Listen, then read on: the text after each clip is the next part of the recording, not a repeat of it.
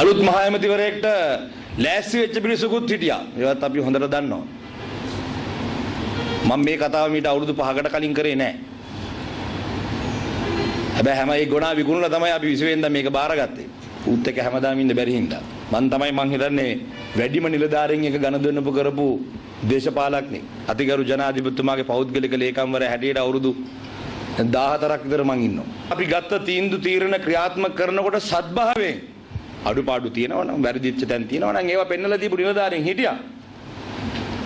ඒ වගේම තමයි අපි සත්භාවයෙන් ක්‍රියාත්මක කරන කරපු දේවල් වලට වලකපපු අයත් හිටියා. ඒවත් අපි හොඳටම දැනගෙන තමයි හිටියේ. ඉවසගෙන හිටියා මොකද එදා අපිට තුනෙන් දෙකක බලයක් තිබුණ නිසා. එදා එලවන්න තිබුණා නම් අයින් කරන්න තිබුණා නම් එදා තමයි කරන්න තිබුණේ. හැබැයි තීන්දුව තීරණ ගන්න ඕන වෙලාවට ඒ තීන්දුව තීරණ ගන්න නොහැකි නිසා අපි ඉවසගෙන හිටියා නෙමෙයි කියන එකත් පැහැදිලිව කියන්න ඕනේ.